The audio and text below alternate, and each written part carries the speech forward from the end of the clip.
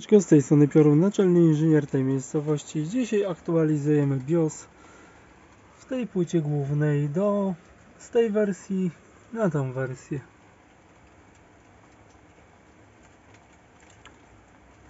Nie wiem, z tą płytą mam awarię. Yy, Wszystkie elementy komputera są sprawne, tylko to wygląda jakby płyta była walnięta, bo co rusz nie wyświetla obrazu, gdy chcę zainstalować Linuxa a normalnie powinno się wyświetlić ekran powitalny i tak dalej, a tu błysk i koniec. I komputer stoi, działa, nic się nie dzieje. To procesor jest y, sprawny, bo przekładałem do swojej płyty głównej i Pentium zapierdala, ale mi wydaje się po prostu, że płyta zdechła.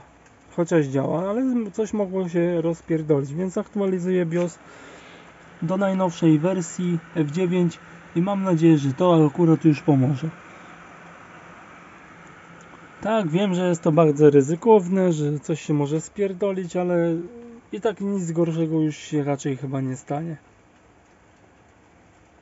No to już chyba pomoże. Szczerze powiem. Po prostu jeżeli to nie pomoże, to po prostu kupuję nową płytę główną, bo wsadziłem na tą płytę główną swój procesor i9 10900 i płyta tak samo. E, niebies błysk niebieskiego ekranu i koniec. Akcelerator jest sprawny, bo go przełożyłem do swojego komputera i uruchomiłem i wszystko działa dobrze. Pamięci tak samo, dysk na system tak samo, to po prostu wygląda jakby płyta zdechła, ale zawsze warto spróbować BIOS zaktualizować, bo może to akurat pomoże. 89% dziewięćdziesiąt jest. No i zobaczymy, czy to coś da. Uruchomił się.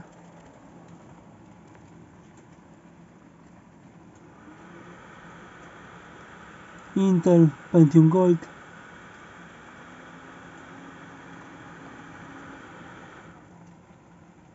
Uruchomi się parę razy. Akcelerator jest sprawny. Akcelerator mnie dużo kasy kosztował. Naprawdę, kurde, nie chciałbym, żeby płyta strzeliła, bo wiecie, koszt nowej płyty to dla mnie jest pikuś. Potwierdzenie, że się wszystko dobrze zgrało.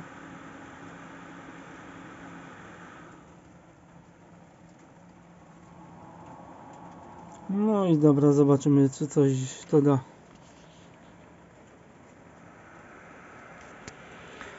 Uruchamia się.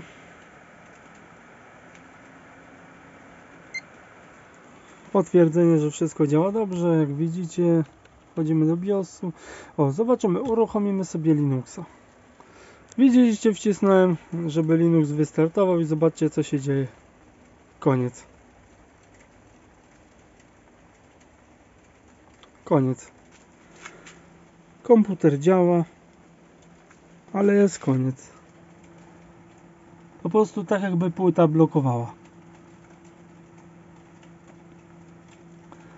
Napra naprawdę mówię to tak jakby płyta po prostu blokowała dalszy rozruch systemu. BIOS zaktualizował ten z najnowszej wersji i widzicie co się dzieje. Jest dalej to samo. Ech, werdykt jest tylko jeden. Płyta zdechła i koniec. Miłego dnia. Piorun Burza Elektryk.